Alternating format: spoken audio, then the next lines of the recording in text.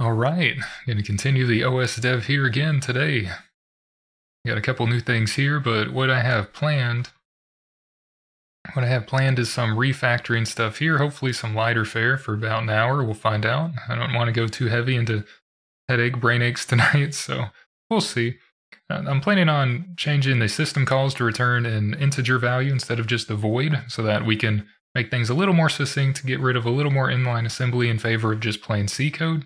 And since the Microsoft and System 5 APIs specify that integer or pointer return types should be returned within the AX register, so EAX in my case for 32-bit, uh, that should make some of the returns a little bit easier and a little bit better, slightly more idiomatic. It'll just it'll look nicer.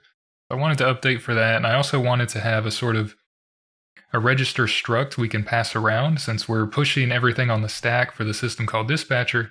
I, I think that we can just use a struct with those registers specified. Uh, well, we can say we can pass them to the system calls themselves. We won't be passing it explicitly, but it'll sort of be passed implicitly since we're pushing everything on the stack before the system call is is called. So I figure a register struct, kind of like how Linux does it. You know, all the register values in there. They'll, they'll all be four bytes each. I won't pass a pointer. I think we can just say the struct is a a chunk of memory. So we can say this amount of memory is expected to be on the stack, and that'll be the input to the function. In 32-bit with the C calling convention, that's okay. Everything's passed on the stack anyway for, for C decl, C declare. For 64-bit, this would be different since that specifies registers, not just the stack. So uh, that might have to change way later on when we do that, but that's all right. Uh, malloc would be a little bit differently since I, I was testing this the other night, and that's why this is recorded today and not yesterday because I had a, a, bit of an issue after changing malloc to use EBX as a return. Since the int has to go into EAX, I needed something else to return the pointer from malloc. And I'll get to this in a little bit as well, but as far as actually writing the thing, it's not very, very bad. I just had to change EAX to D or C for the 32-bit CDECL calling convention. EAX, EDX, and ECX are callee saved, not caller saved. So the system called dispatcher, or whatever other functions up in the call stack that the compiler's messing with is not going to affect AX, DX, or CX if I wish to return a pointer from there. I tried using EBX, but that's caller saved and it wasn't working because it didn't have the right value going through. That may have been the cause of some other issues with EBX and things, other registers in the past, now that I'm thinking about it, but there might still be some hidden issues there in, in other parts of the system. That's okay. But I'm going to try to go for that first. Uh, after that, I want to try to refactor the calculator a little bit to use printf instead of plain write calls, and also to take in an expression, or we'll say maybe like a series of expressions on the on the call stack, like the int argc argv. We could pass in a double quoted string with um, like 10 plus 2 or something, and the calculator can just evaluate that and return instead of taking in input interactively. So I kind of want to do that. If I get through those, I might start refactoring the editor and I might get to the make file. Probably not on this video, but we'll see. I want to refactor the make file again, the build system, to be more to be closer to actual make and POSIX make as far as um as far as inference rules and using suffixes and things better. I should just be able to dictate I want these final objects and then say those are required to well, those have prerequisites for like the source files required to build those objects. But the you should just be able to specify an object in a make file, and it'll check the files required to build that object according to suffix and inference rules. And then if the date is newer than the final thing that it's building, then it'll run it because it'll see it's newer. And the whole point with that is just to cut down on this, you know, having to build the whole thing every time. These files, like the fonts, are never really going to change. Uh, the assembly will change rarely. The kernel stuff will change most often. But if something's not changing, I don't want to have to build it every single time.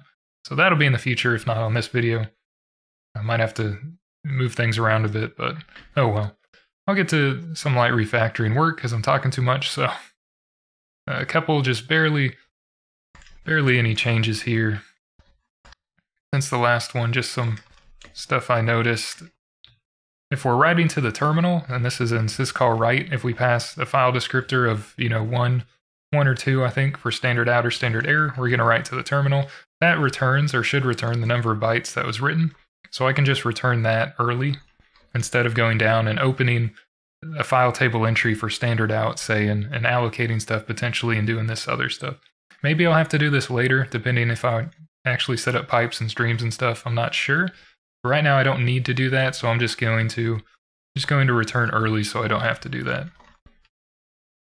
But as far as refactoring like system calls in here, if we just returned an int, then instead of doing inline assembly, we could just say return bytes written. You know, so that's one reason why I wanted to do refactoring for uh, for the system calls. Just make things a little bit easier, a little bit more succinct, and less inline assembly code. And if I pass in instructive registers on the stack as well, I wouldn't have to move things in like this. I shouldn't have to already. I just didn't sit down and think about it deeply until a couple days ago. I should be able to pass like a struct on here, like a regs t or something, but I'll make that in a second.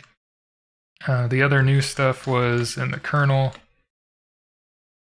And I'm initializing memory. So messing around with different optimization levels, I had some issues with printing the prompt and other things were, were erroring out, like for printing the directory and just other areas. So, you know, if I malloc memory, that memory is not, it, it might not necessarily be initialized to zero or anything. It's going to be uninitialized memory. I don't have a calloc, right? I, I really should make a calloc, but I don't have an allocate and clear, so that doesn't initialize the memory. So I'm just setting it, you know, to zero. That's all. So if there's a, a weird issue, don't, what did I do? I don't like when my jump list messes up like that. It really makes me mad. init fs vars.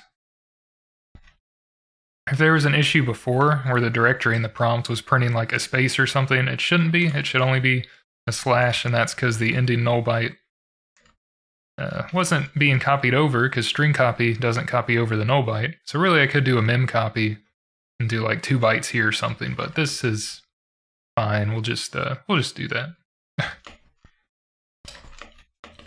but that ensures that the prompts is always going to be a single slash and everything's there. Everything's fine there.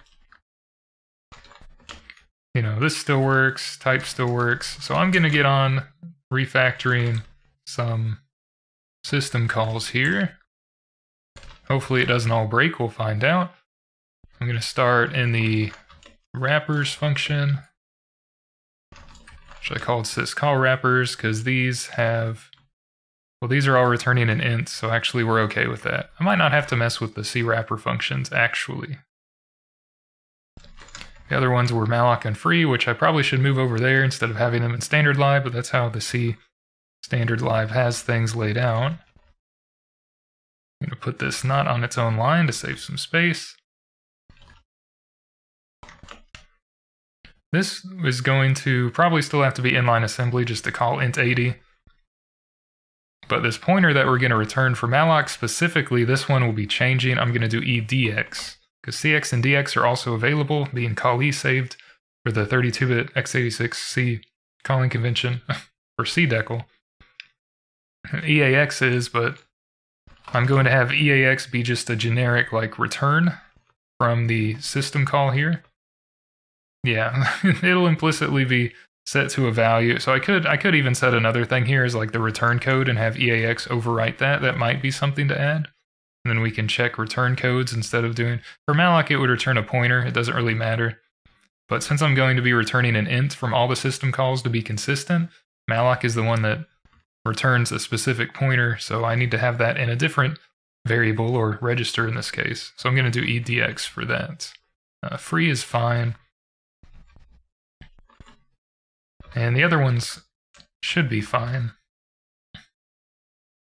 Yeah, open, close, read, write. These all return ints anyway as results, so those are all okay.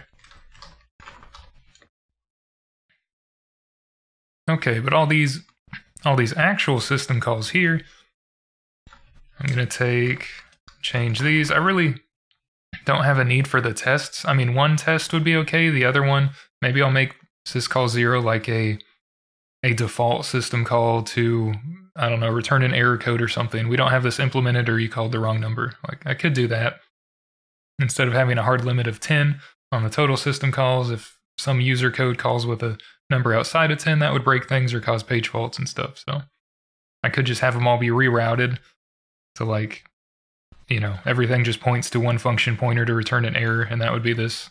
Maybe I can do that in the future. I'm not sure. But I am going to make all these things return ints. or in my case, probably int 32s. And we'll just return, I don't know, something, return success or something. I don't have, I don't have that. I'll just add it here. What's another include? Just a bunch more data on the stack when it's compiling. That's okay. But we'll return exit success, which is zero, but that's fine. Just for ones we don't expect to error, even though they could. But I'm going to make all these ints. And replace some inline assembly where we find it. Not really in here, I don't think, but we could. We could do that, actually, in a bit. I don't know why that's commented out. That's probably been there forever. that doesn't need to be there. So malloc, I'm going to have return an int, as previously stated, but this is going to be with an edx, and it'll be changed in a minute when registers are different. But I will move the pointer, we'll make that general into edx, and we'll return exit success, which is going to be an integer, that's going to be with an eax. So we can't return the pointer, also an eax, we have to return it in another register, I'm using edx. EBX would not be available. Do not do EBX. You will get inconsistent or wrong values on return because that is a caller saved register and the compiler will take that into consideration. If you write all this in assembly, you know, you can do what you want, but uh, otherwise you can't. Yeah, the EDX, I might still have to do this, but as far as inputs, I'll make a register struct in a bit and we can make stuff like this look a little nicer and all in C and not inline assembly. Right now I can't do that. And free is going to return stuff as well. We'll just say, hey, it's probably going to be free. But if I change these to do ints, stuff like syscall write here, instead of returning negative 1 in EAX then doing a return effectively, we can just return negative 1. So that's a lot easier, that's a lot simpler there. All the errors will just return negative 1. Say invalid FD for writing. And it saves some lines of code. This is going to return bytes written, because that's going into EAX and returning. Even though this is being set equal here, so really we could just return that. So that would look a little bit better. There we go. Just do that. Turn early. This is also the same, going to be bytes written. That's going to, yeah, error if file not found or is not open. So in this case, bytes written is being used as a sort of error condition because that is zero. We could return an error instead of a zero because they didn't even try to read the file here we couldn't read it at all. So I might return negative one here because this is kind of an error. Yeah. We'll just say file not found or is not open. That'll be another error case. And only open for reading would be an error case. I do, yeah, want to move to some kind of better way of handling that. Maybe an error struct somehow in the future or returning a number, an error code within EAX, but having that be just an offset into a global string array or table of strings or something, maybe with other info metadata attached later on. That way we could say we return negative, well, Linux does like errno stuff, but for error number, we could just return like, you know, negative 5003 or something, you know. I guess that's kind of like what Windows does, which isn't necessarily better implementation. But we can say we can return something like this. Any negative value is an error, and whatever this offset is into a global string table will have an error for like a string that says, I don't know, uh, FD only open for reading or something. It won't be in all caps, I won't yell at you, but we can have something like that. And this would be an offset into a table which has this, but that's something kind of far in the future, I guess. I don't know. Still thinking about how I want to do global error handling things.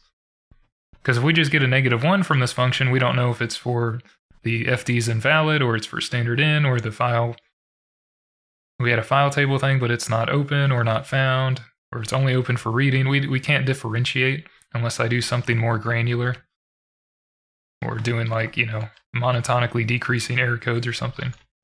So I don't know. I'm still thinking about it. We'll just do negative one for that. So if it's here, we'll do that. Any other places I return, I do right here. Couldn't allocate enough memory per file. I'll need to do that to do. Another error. So this is just all guard clauses until they finally get through with it. and we're returning bytes written. Hey. I'm also assuming all these will work.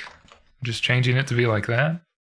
But effectively, that's what I'm doing. It's an integer going to EAX and returning, so that should be okay. So move move FD in case of error. FD is negative one here. We'll do that. Didn't have create flag. Uh, let's say or otherwise does not have creation flag error. This one could not create file with path. That'll be an error as well.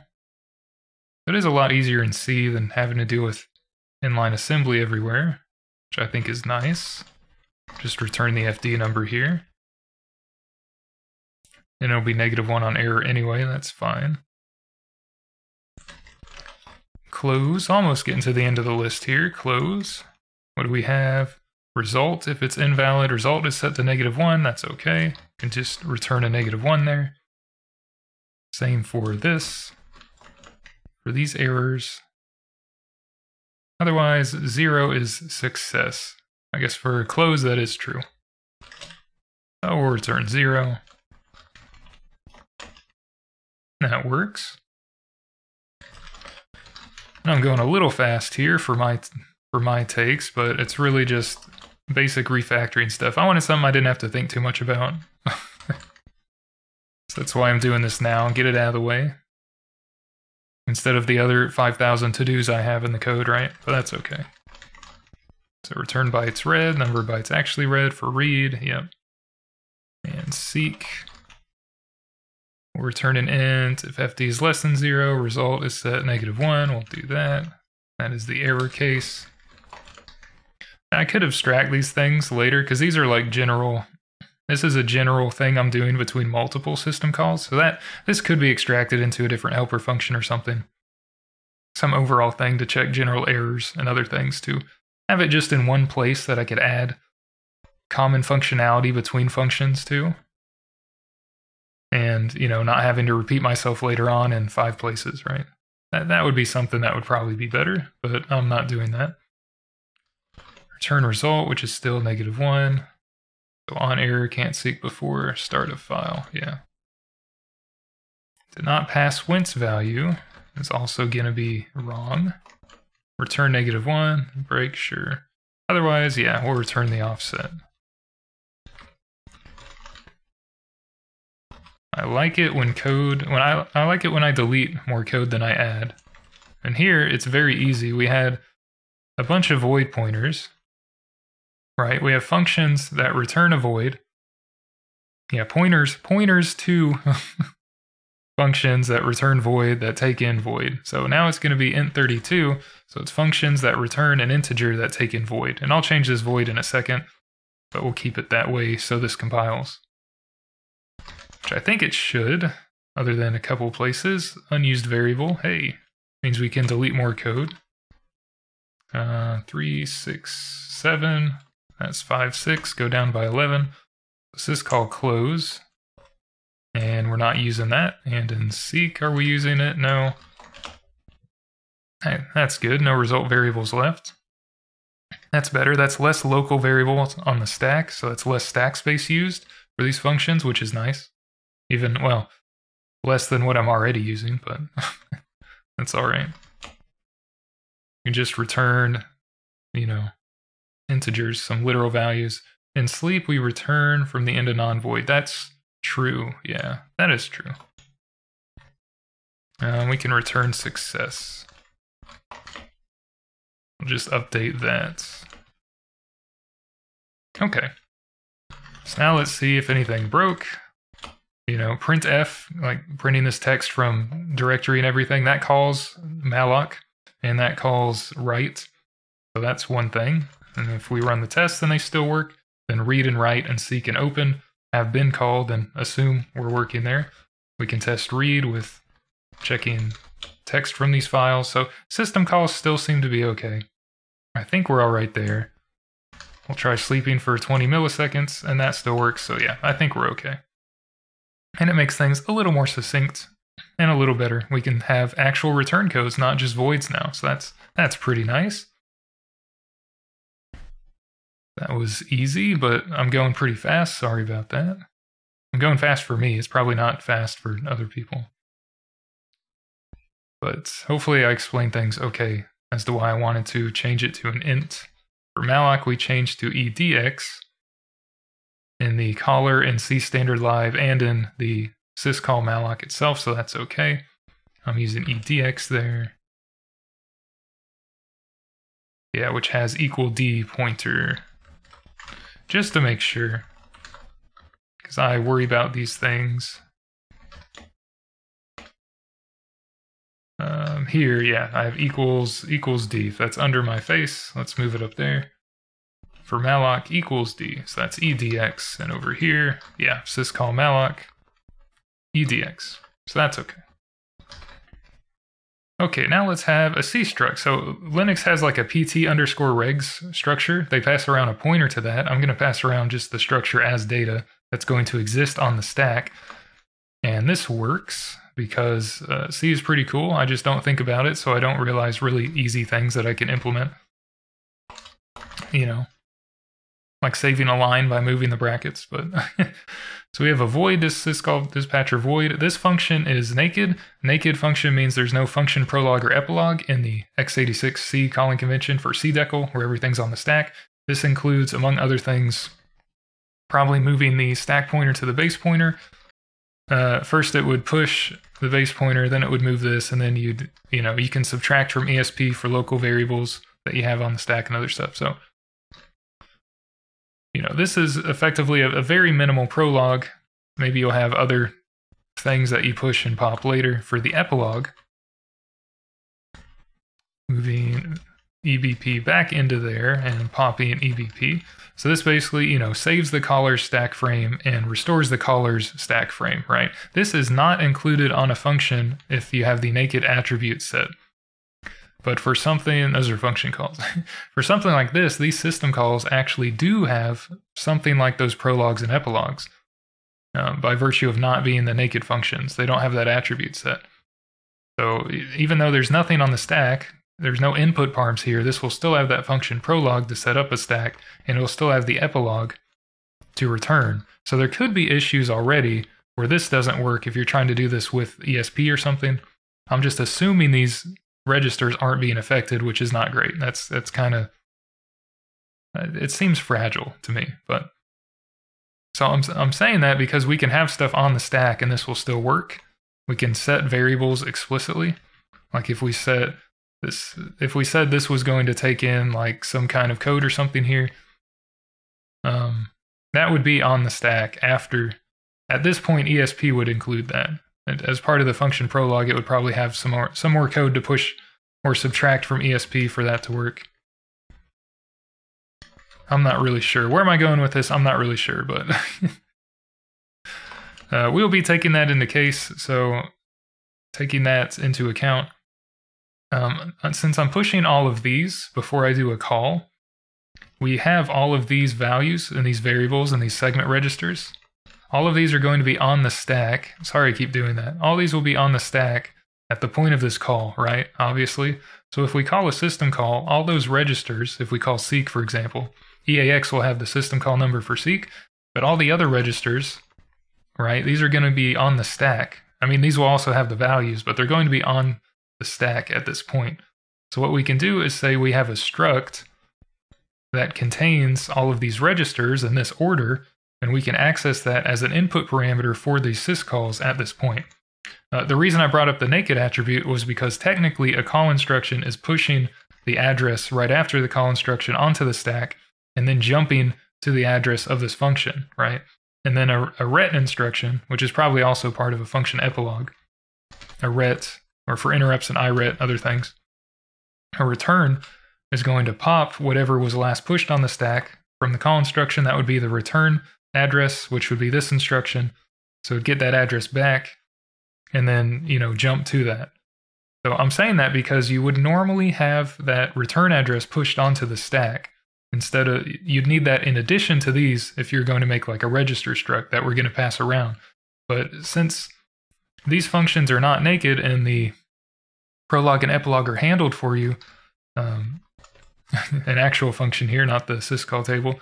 If we pass in a register struct here, this was like a struct or something, we would have access to that without needing to take into account this extra return address. We, we can just specify these. I just, I want to make sure that, you know, normally there would be an extra four bytes for the return address. And if the function was naked, then you would have to take that into account. But since it's not, we can just say all of these registers can be within a struct that we pass around. Um, and if that doesn't make sense and I badly explained, that's, you know, oh well. Let's make that a void again, just so I don't forget. So I'm going to have a type def up here. Uh, let's call it syscall regs t. I might could put this inside of the numbers file. I don't know, but I'll put them in here because it's only going to be used in this file right now. And I'll have this be the sort of layout that we're doing for all the registers we're going to push before we call uh, before we call a system call. So that's going to be all these registers here. They're not going to be push instructions. I don't think I have to make this packed since they're all going to have the same width of four bytes. So, you know, there's not going to be extra padding or anything. There could be though. So just to, you know, prevent that. I don't think this is needed, but to prevent that, I'm just going to have this set as packed. So this is the order in which registers are pushed when a system call is called. So these are pushed onto the stack in this order, and the stack grows downward. What that means is that at a system call function, inside of this function, if we were to put regs t here, which I want to do, for example, uh, the first value at regs t would be whatever the first value is that was last pushed on the stack, which normally is going to be that return address. But since the prolog and epilogue will handle that for you, we don't have to worry about that. We can just start from here if we put it uh, in opposite from this order inside the struct. So the first thing that's going to be on the stack is the last thing that was pushed. But the first thing inside of a struct, the first member, is the earliest in memory for the struct. So if we laid out the struct with EAX first and ESP last, EAX would be, we're saying, is going to be the first thing on the stack, right, in this case. But that's not true. We pushed it in this order and the stack goes downwards. So these have to be in reverse order in order for the last thing on the stack, ESP, to be located in the struct that we pass to these things and be correct in you know in memory. I didn't say that very well, but that's what I mean. We got to have these in reverse order because at, at the start of memory, where the struct is going to be pointing to the stack variables, it will be the last thing we pushed on the stack, and above that will be the next thing we pushed on the stack, and yeah. I haven't studied, you know, system calls in a calling conventions in a while, so I had to remind myself of that last couple days. That's why normally if you do the function prologs yourself in assembly, you'll see uh, they push EBP, they move SP into BP, and you do BP plus 8, because the first four for 32-bit will be that return address. The next four after that would be what actu- whatever you're actually doing. So let me not make these push. These will be, um, we'll make them 32-bit, 4 bytes each, because I'm in 32-bit. Just get rid of that and these slashes. Just put them all there. And this allows things to be a lot nicer when we're actually using register values that are, they could be in the registers themselves, but if it's on the stack, we can work with them a lot easier just in C. So that's pretty nice. It could be slower, probably is a little slower, but that's all right.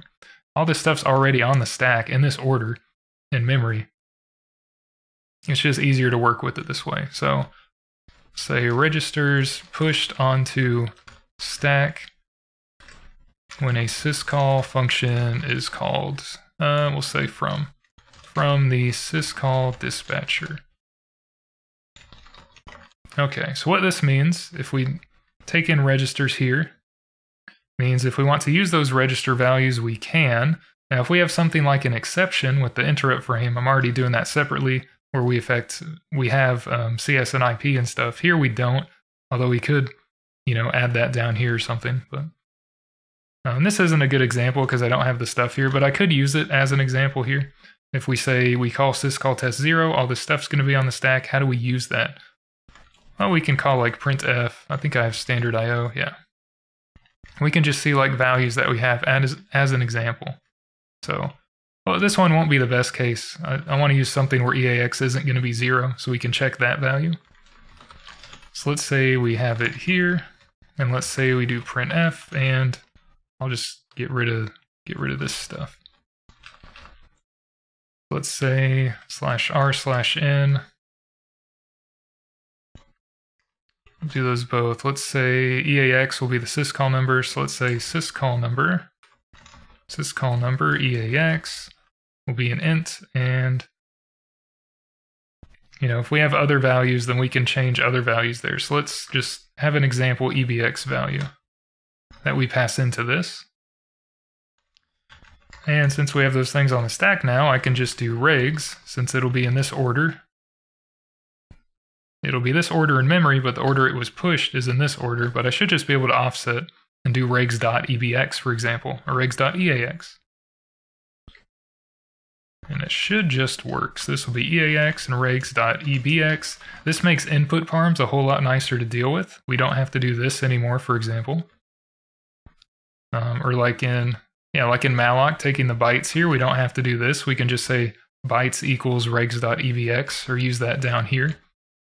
So that's pretty nice. But I'm going to do it as a, a little test here to see if we print these values out. I'm going to put that within the kernel. Let's say right before we're printing stuff.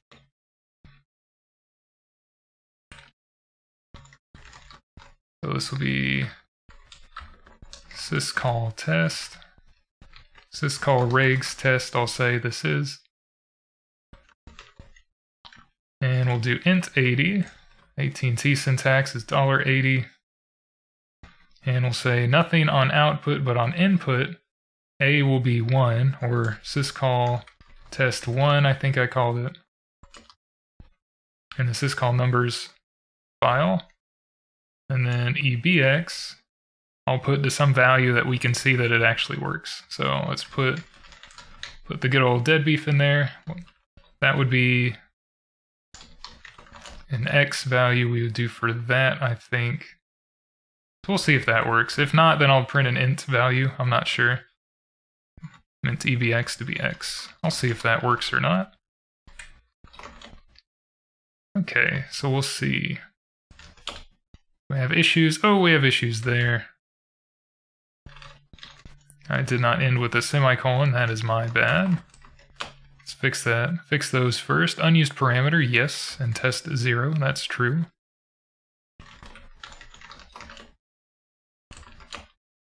We'll just tell it to silence that. Initialization of int pointer from incompatible.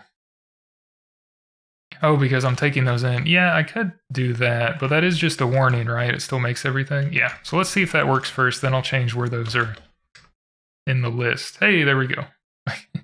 Easiest test of my life. Nothing's ever that easy. Syscall number EAX. We're using, well, we don't see it there anymore. We're using regs.eax and regs.ebx, and those values are set. Control Alt G, give me my pointer back, please. There we go.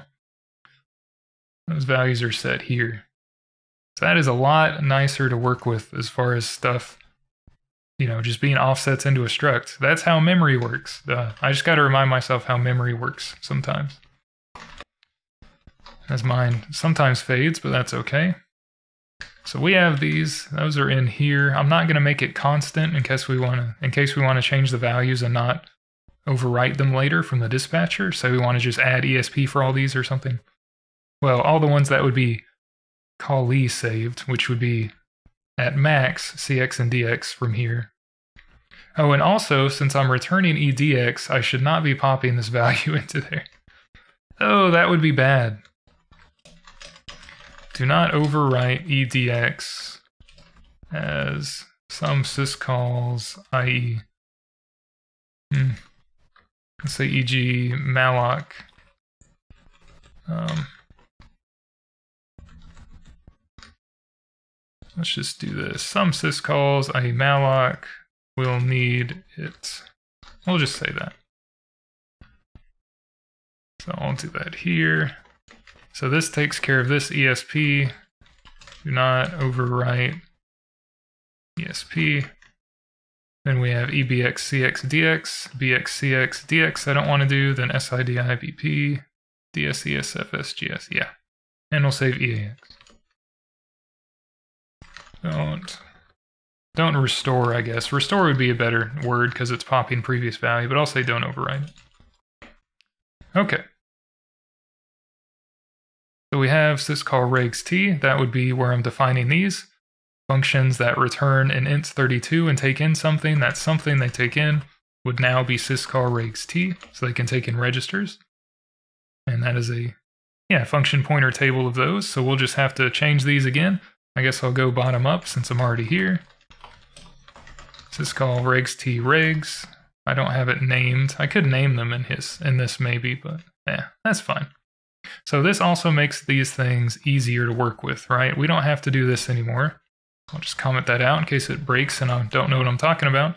But we can now use the regs values that have these register values in them to make this a little bit easier. We could even set these from those values.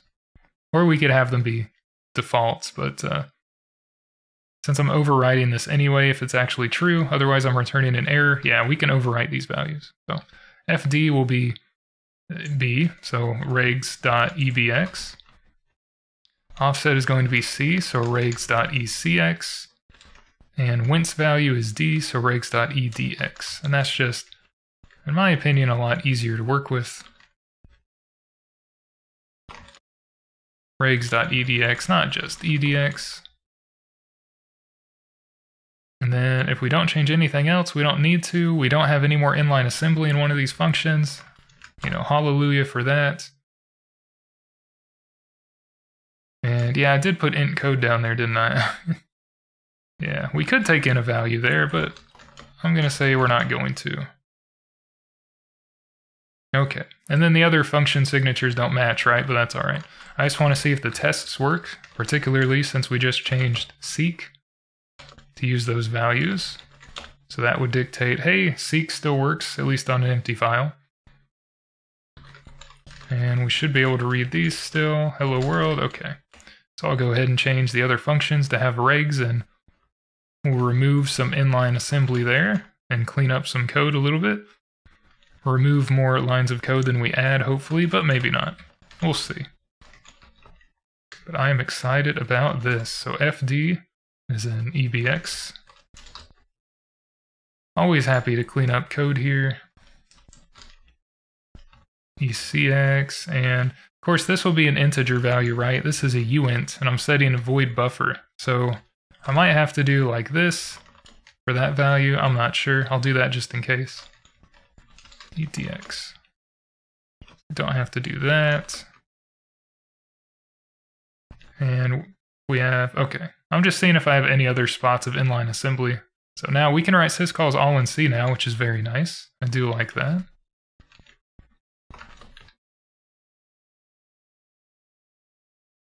ebx0, we can just say, hey, this is going to be regs.ebx, assuming we add that.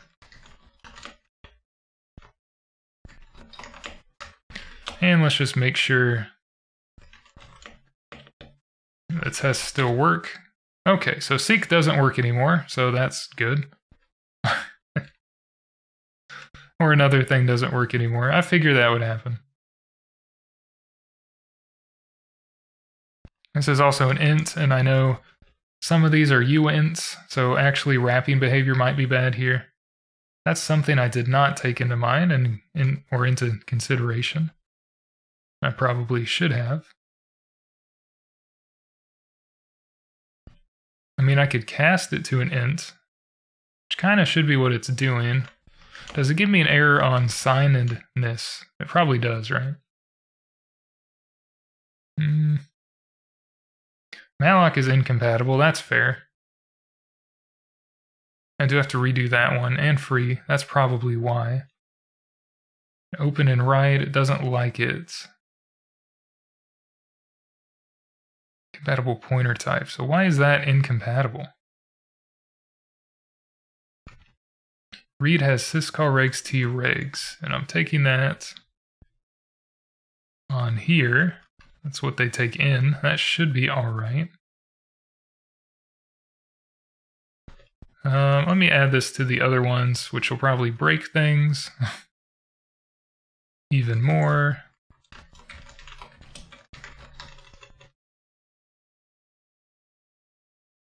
Those need to have this. Free is going to have it. It'll give me errors for unused. Well, it'll give me warnings for unused variables. That's okay. We can mess with those. And uh, and fix it. We can fix those. Yeah, unused parameter. That's those are fine. As long as that's like the only issue here. It doesn't like sleep either, but all right. It did make it, even with those warnings. But this gives, and okay, it doesn't give an issue now.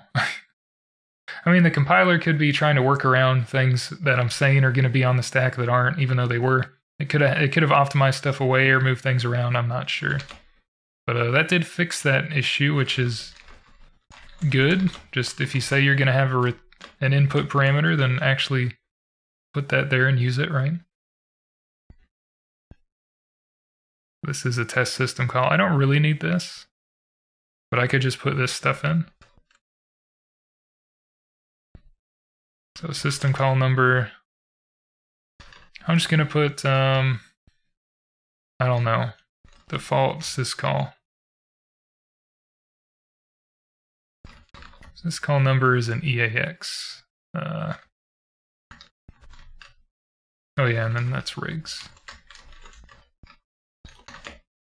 Let's just not do this. We'll just print out where we're at.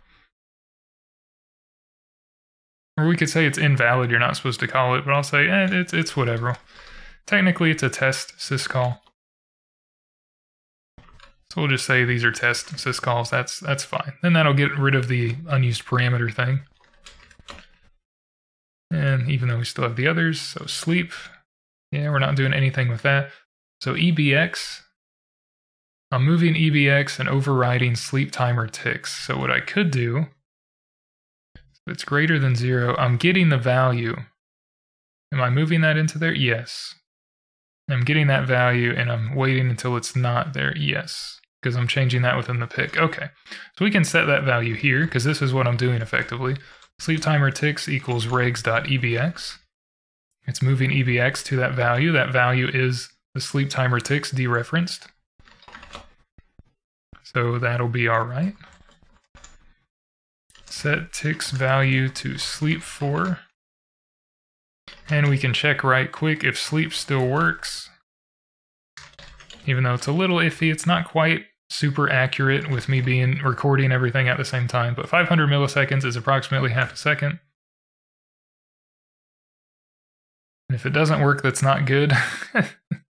or if it's incredibly slow, okay, it did return. Hopefully sleep for one second. It's going to be a lot longer than one second. As long as it does return, that's okay. Sometimes uh, time gets a little wacky depending if I have drift fix slew and other things that are there. Yeah, that's going to take forever. Uh, it does behave a little better when I'm not recording. And this isn't the most accurate emulation, but as long as we can sleep and return, that's that's all right.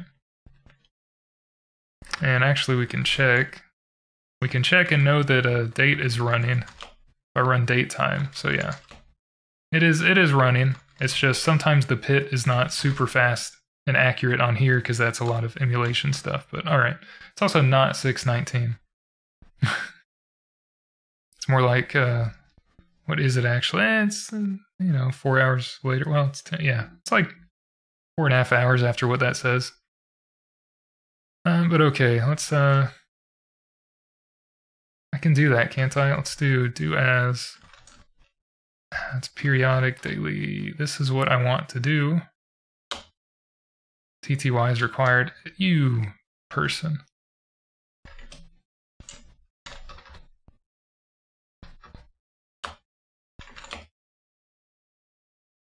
So NTP doesn't run on the daily because I think my PC goes to sleep and stuff and it doesn't run when it's supposed to, whatever. Also, maybe it takes forever to actually send and receive queries, and that could also be an issue. That may be the issue. Oh, timed out waiting. There we go. The other one got it. So then it updates. Yeah, that's what time it is. I have to do that now and then. Sometimes stuff like curl or other things fails because the, time isn't right. It's like three days in the past. You're like, why isn't NTP running? It's supposed to be. That's all right. Or not running correctly, rather, but oh well. So bytes. I'm moving EBX into bytes. Let's do that. regs.ebx. And here, since this is going to be on the stack, I mean, I might, I might, could move this into EDX. I'm not sure, and I don't really want to mess with it too much, but maybe I could do this, and that would work. I don't think that's correct. Pointers are going to be the same size on 32-bit, so this is okay if I want to cast it, but I don't think that's great, but I might try and see if that works. Because I'm not sure if that's equivalent, and if the normal prologue and epilogue stuff will, will have that be affected if this data is going to be popped or uh, put back on the stack. So if, if malloc and everything fails right here, and it does, yeah, that means that, that that does not work like I thought it was going to, which is good. Or well, it does work like how I thought it was going to, rather. By not working with EDX there, yeah. So don't break malloc, it breaks everything else. You know, keep that in mind. Words to live by, right? Okay, free, let's set the pointer to EBX. And just to make sure, I'll do this. Again, not sure I have to do that, but we'll do that. Free, we can see if we have memory leaks, if free is working. So, for example, print memory map calls printf, which calls write, which calls malloc. So we don't have memory leaks so far. We will use an extra block or two for tests is going to be 14, but that should not increase if we do stuff, which is good. Uh, we also have a malloc test, right? I don't know if that program works anymore, actually. It doesn't. That's good to know. oh, I'll have to look at that in the future. Oh well. I'm not dealing with that right now. Okay, ebx, regs.ecx. I guess make that a pointer because it's a pointer regs.edx. I do like lining these up, but that is a habit from work. Yeah, FD buffer in length. FD buffer length, yeah, okay. No other inline assembly we have to deal with here, just the input parms, so not too bad. File path. Convert to a character pointer of EBX. What did I set FD to? Oh, FD is just set to negative 1. Alright, let's put these first. Although I don't need to, but... File path is EBX. Flags is ECX. And we'll have an FD here, negative 1. We don't need this. That's on open, so let's make sure that works as well. Okay, we say open is there, so we should be able to do type on one of these files and print it out, so open's good. Okay. Good to know. I like it when stuff goes smoothly. And maybe it's only smoothly because I borked everything testing the past couple days, but I don't record that, so. the other stuff is set, this is set. Okay. Yeah, we should be good to go. At least as far as saying we're we're done with this refactor. So that's good. I'm going to count that as a successful thing because I refreshed how I did memory in the stack, how that's going to work. Again, what you push on the stack is going to be in reverse order if you make a struct that represents what that stack data is. The first thing in memory at the struct is going to be the last thing on the stack here. Here. if you're considering that from the perspective of the input to a function in C. So Pretty handy, I like that. There's probably other places this could come into play, having structs that represent the stacked the stack state. Can't say that five times fast. But that's good. I'm calling that a successful refactor. The other thing I wanted to do, if I have time, is going to be probably the calculator accepting things. Let me check. Okay, I'm not sure I can get that done in like 10 minutes, but we can try here for a, a speed run. But I don't want to do a speed run and not explain anything, so that's not the point. But where I'm getting in the kernel where I'm tokenizing my input, which is going to be down here. This get token loop, which probably should be like a separate function or whatever to get the next token, but whatever. We don't have a, a good tokenizer. I want to take in double quoted strings. Sing, we could do single quote, but I figure that's, I don't know, like an array of characters, which is a string, but let's say we're only going to do double quote and say that that is a specific single token. So instead of white space delimiting things, if we wanted to send a mathematical expression to the, the basic calculator. So let's say we want to send 5 plus 2. So these would be, as this currently is, it skips on white space. This is going to be three tokens. But I want to have something like double quoted 5 plus 2 and have this count as one complete token, and we send that to the calculator. So one argv value would be this whole string, not the three separate strings for 5 and plus and 2. So that's what I want to try to do here. We'll skip white space. We found the next non-space character. I'll have a basic test. I do want this to be different in the future if we want to, you know, capture more things than just a double quote. That would get annoying here with separate cases and ifs and a switch or whatever, but we can worry about that later. Let's say if the data at, I'm using command string pointer, nice name. command string pointer, if that data is a double quote, which I probably have to escape, then we want to keep reading until um, ending double quote delimiter. I'm not handling quotes inside of quotes. So if you send, you know, inner strings within your outer string, I'm not counting that. We're just going until like this. And then this will be, well, in this case, it'll look weird. This will be a token and a space, and then this will be a token, and then this will be but whatever, don't do that, you know. we don't have a great parser here. I want to probably go past this right now, because we're already pointing for argv, we just need to decide when to end the token, so, or at least when to stop and get to the next one. So I'll do this, and we'll say while the data at command string pointer is not a double quote, escaped, then I guess we'll keep going. That would probably work. We could just have that be the case. But that would, yeah, we have to move past once or else it'll immediately end from the first one. So what that means is after it reaches the ending double quote, it'll say if it's not a space, it'll be on the double quote, then it'll go on anyway. If it is a space, then it'll go on anyway, or the end of the string. And then it'll skip white space. Okay. And then get the next one. So we'll have to, I might want to end it with a null. Because that's what I was doing before, right? Oh, I have it right here. Okay. So let's say right now, if I don't do anything, if we sent this string, you know, 5 plus 2, what would happen in here?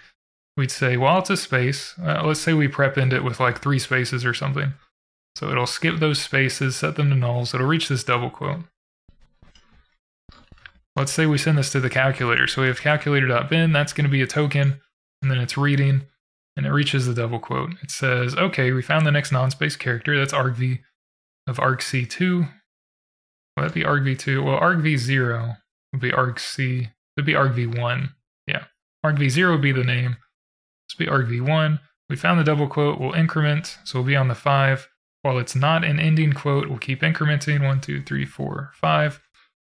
And then it says while it's not a space, increment. So it'll increment again. And it's not a null. It will be a null at this point, but yeah, it'll catch that on the next one. It'll say this is the end of input. It'll go to the top. While it is a space, since we put the enter key, it'll probably say that is a space. It is a white space because we have that capturing slash R for the enter key. It'll set that to a null. That'll be the end of input, and then we'll go on. So that should work. That would pass the next thing. And if we sent multiple strings to the calculator, you know, 20 minus 5, we'll say 200 divided by 10 or something, it should send all these within all these strings within separate argv values. So that'll be okay. That should work. That's actually very simple. It's if it's if it's simple, it's more robust and less bugs, so don't worry about it. Okay. So with that being said, I want the calculator to be able to take in a string token like that. Uh, let's say found double quoted string. Count this as one full token. Count the string as one full token. Okay, let's mess with the calculator right quick and make sure that compiles first. All right. So the calculator, I don't want to clear the screen on inputs. My ideal here would be to take in these strings, these expressions, and instead of the input buffer here being the result of the user typing in keys like this, I want to be able to just send expressions at the command line. So like in here, if I'm doing something like, you know, DC calculator, let's say we have 10 to plus, this should be 12, and we'll quit. We'll print that out and then quit. I'm not going to make a DC clone, but I could eventually. I just want to be able to take in a full string and pass it to the calculator, not have to say run an expression. But that's kind of the equivalent I'm doing here. So, okay, how would I do that? Well, I do want to change to do printf as well.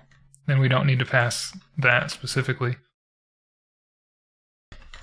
that would just be, you know, a little bit more savings in bytes. But not very much. I'm only using printf down here too. Okay. I don't need to mess with the cursor if I'm not doing interactive stuff, but right now in the calculator, it doesn't print the cursor to begin with. I do want to change that. It, it makes the cursor on but doesn't do anything, so I'm going to print a space, which would make the cursor draw a line for the cursor.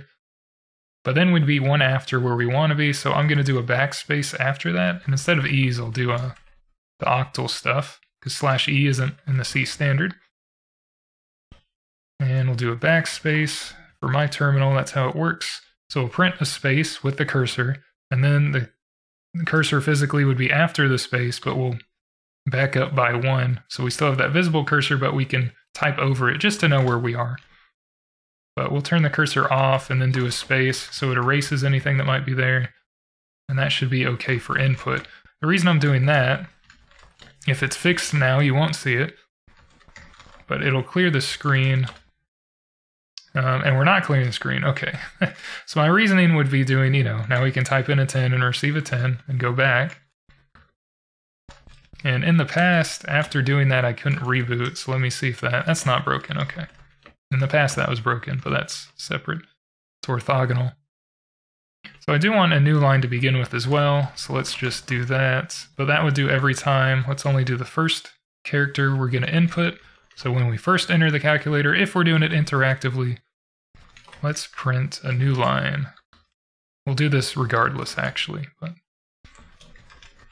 initial new line to not be at end of last user input from prompt. Say from shell prompt, maybe. All right.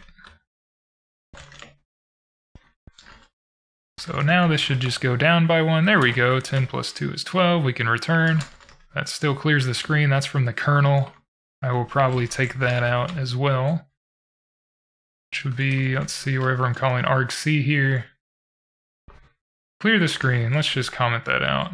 To do, probably remove this. All right, just remove that line. We'll comment that out. And my alarm went off, so I'll just go a couple more minutes to see if we can do this. That's what I always do. Two more minutes. We return, we get the prompt. That's what I was hoping for. Now we have a little bit better behavior. I like it, I like it. So how would we detect if we passed in some expressions that we want to run instead of doing an interactive thing here? Well, we're going to use argc and argv. So I'll take those out. And we'll see if those are going to happen here. Let's say that'll be an if statement here. Check if user passed in expressions to evaluate. If so, do not run interactively. Yeah, we'll just do that. So if argc is greater than 1, it'll be 1 automatically. That first token is going to be calculator.bin in this case, so it'll be at least 1. If it's greater than one, then they passed in extra stuff. We're going to assume there's going to be strings that they passed in. Now, if those aren't valid expressions, then the, the parsing later on should return an error. We shouldn't have to mess with that. I'm hoping that's already handled, but we'll see. Let's make a loop and we'll loop through these expressions first off. So let's say for, I only have 10 right now, so we'll say eh, they're not going to pass in more than 255 expressions, hopefully. We can't handle that right now. So we'll say i is, it's going to be at least 1 for argv. If I go argv i inside of this loop, inside of this iterator, I would be at least 1 because argv0 is going to be calculator.bin, that, that literal string. So let's say, yeah, less than argc i plus plus. So what are we going to do with that value within argv1? I'll probably just set buffer to that value and then we'll evaluate it. That way we don't have to change too much from what we're already doing down here with parse buffer.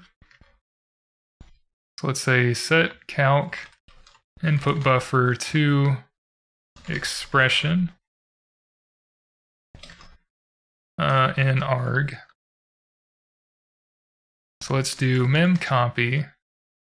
I don't remember if it's like dest then length or what have you. Okay, or mem copy 32, but I'll just do mem copy dest source length.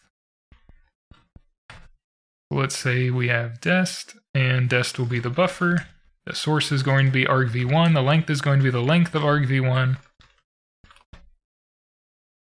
Um, but since argv, each thing is going to be double quoted string, this will include the double quotes in the string right now, which is not great. I might want to change that. So let's just put this as a to-do. Um, I'll say maybe remove the double quotes from strings in kernel or can deal with here that's fine.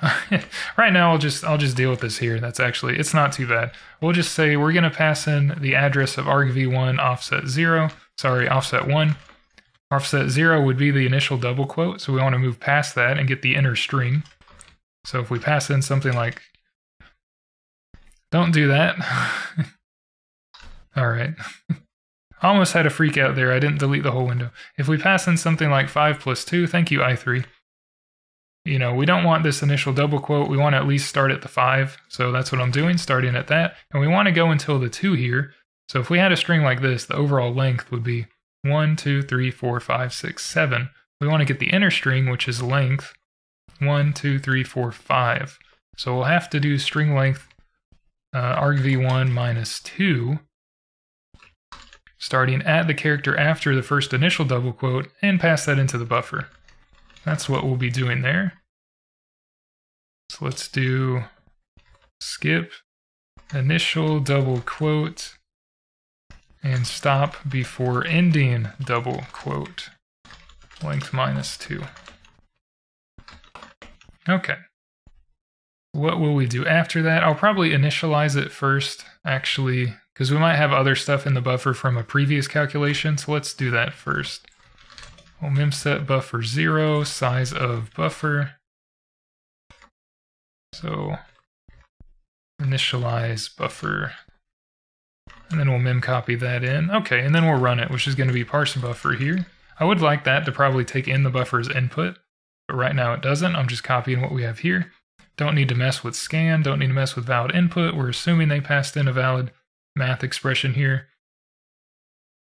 Clear the buffer. Uh, we can just do memset.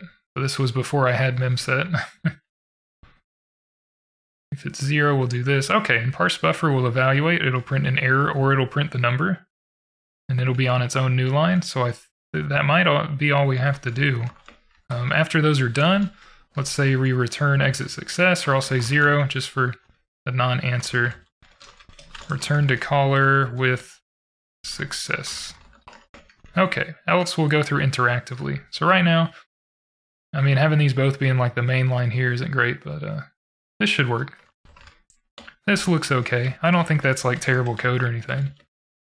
But if we run something like calculator.bin 5 plus 2 with the string, it returns a 7. Hey! Heyo. It does return the initial new line, that's okay. What if we pass in two things, 10 minus 2, and we pass in 20 divided by 2, we should see 8 and 10. We see 8 and 8. I probably have issues with my math in the calculator. Because uh, that's not great. That should be two separate things. And you know why? It's because I'm doing argv1. I need to do argvi. That was the whole point of doing i. So that I go through the argv values and not put partial shutdown text there. Also, for loop needs to be, what did I just do? I like got rid of a bunch of stuff. Okay, that's where it was. All right. Getting tired. Okay, so let's do, let's actually go through the things and iterate through them. And also, I'm not going to do this if it's in batch because effectively this is in batch. We're going to print a new line anyway. So I don't need this unless it's going to be interactive. And this should, yeah, this should work now and we'll be able to run multiple. The reason I do dir every time, by the way, is just so I don't have a page fault that I put in somewhere from or malloc issues or anything in printing works. It's a good first test, but it's kind of habit. I shouldn't need to do that, but I'm still scared everything's going to break whenever I remake this. So let's see. If we do something like 5 plus 2, which is 7, 10 minus 2, which is 8, and 400 divided by 20, which should be 20. Okay, we have all those. So we're good. 7, 8, 20. It does put, like, you know, two new lines there, but it works for multiple things. It works for strings. We have token delimited on one full tokens as a string and the calculator works for things from the command line. I think that's pretty awesome. I don't sound genuine right now, but I do. I do think that's pretty cool. Um, and nice. But this probably doesn't need to do this full thing here. Let's say I'm just going to make these one-liners. Right now, we can mess with the the spacing later, but right now I'm, I'm tired and want to go to sleep, and this works, so I'm happy with that. Uh, I'm happy with that result. I know I'm kind of like rushing myself here, I'm probably going too fast for my own good, uh, from my perspective, but I just like that that works. That's that's really nice. And we're not, we don't have any memory leaks, you know. Well, let me make sure we don't have any memory leaks. So 10 minus 2, 20 times 20, 3 minus 1. Yeah, we don't have any memory leaks, so we're good to go. Hey, all right. I'm counting that as success. Evaluate expressions through argv and argc. Refactor. Sorry that took over an hour, but uh, you know, that's life. So I will actually get to the editor next time, maybe the makefile. Depending how long the editor takes, it'll probably break and not work, but I at least want it to open a file with open and close it with close and be able to read and write a text file. So that is going to be the goal for the next video. If I get that done, then I'll try to think about refactoring the make file. I may push this off till later actually and do make and change directory. That might be more interesting for people. And I don't think it'll be too hard to add extra folders, you know, knock on wood or a, I don't know, particle board, whatever this is. This desk is not real wood. But yeah, we'll see. I'll see how that goes with the editor and decide if I want to make make more POSIX-ish or go on to directory stuff and screen scroll back and other good changes later. So yeah, hope you enjoyed. Sorry if I tried to ramble faster than usual and my voice is dying, but I wanted to get that done and get a good easy win, and that's what it was. Hopefully you learned a little bit or it was somewhat entertaining or something. Uh, you know, I like deleting code more than I like adding code. We got this and git diff, does that tell me how much I deleted? Probably not. Not overall. That's okay. That doesn't have very much in there at all, actually. Oh, because that was from the last time. Yeah, I don't have any new things, right? I don't. Okay. Well, I'm going to add that. Thank you for watching. Appreciate it. And I'll see you on the next one. So, cheers.